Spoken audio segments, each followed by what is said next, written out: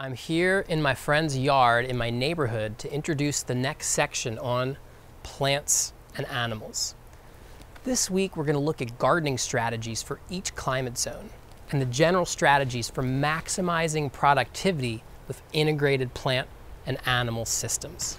In this yard, you can see a diverse mosaic, including annual crop production, fruit trees and productive perennials, flowers, pollinator plants, chickens, beekeeping, water collection, and space for people to enjoy the garden as well.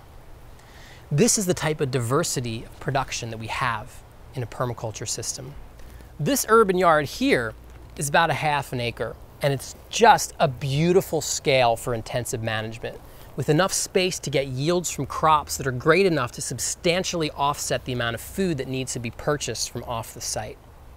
This week, we're going to explore what these types of productive systems look like for the dry lands and the tropics as well, as well as look at different scales at which we find productive permaculture systems.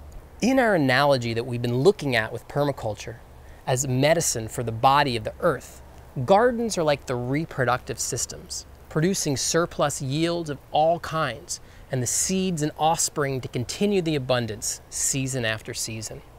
So join us this week as we look at how to multiply abundance in permaculture plant and animal systems.